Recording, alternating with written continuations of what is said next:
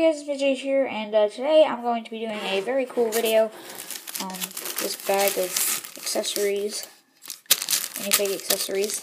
Um, let's see here, may be able to help you figure out what it is, and uh, if you haven't guessed yet, it is my clone army. It's not really much of an army, but yeah, whatever.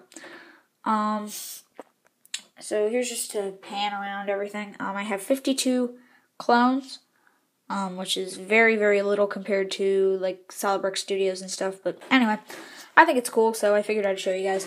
So uh, first you can see, I haven't really done much army building, by the way. Uh, so first you can see, I've got my clone commander up here. Uh, he used to have printed legs, but I gave them to a different figure, so yeah. Um, haven't thought of a name for him yet, but yeah, he is a custom fig. Then we got the clone lieutenant and the special forces commander off to his side there. Then over here we've got episode 2 clones uh, with a sergeant and a captain and five troopers.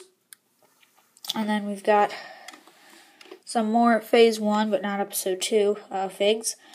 So we've got, oh, well, basically Clone Wars. Um, so we got Wolf, a Wolf Pack Trooper, Rex, and Gree. And uh, you may notice that none of these guys have their blasters. That's what's in here.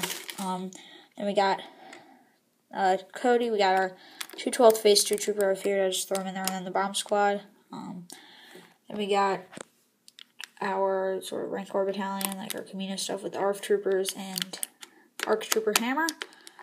Um, and then a gunner, just a lone clone gunner right here. And then four, uh, uh well, then we got the Phase 2 Rex, and then two Phase 2 501st Troopers, and a Phase 2 Pilot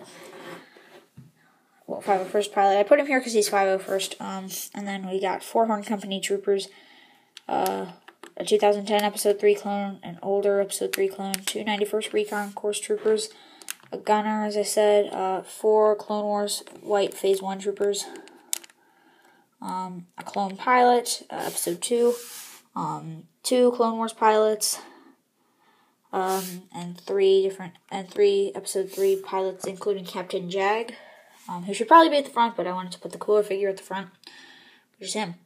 So, uh, yeah, this was a very short video just showing you guys my clone army. Uh, I'm going to be getting more clones, but I'm going to be doing it more army, uh, minifigure based, so it's not like I'm to have a huge setup full of vehicles. I'm just going to be working on minifigs. It doesn't even take up a whole green base plate yet, but there's some really good army building battle packs coming out in 2014, so yeah, um, and I'll make sure to definitely get more of the episode 2 clones as well um, later on. So that's gonna do it for my little clone army. Um, thanks for watching. Tell me what you think. Tell me if you think it's a good start, and I'll see you guys next time.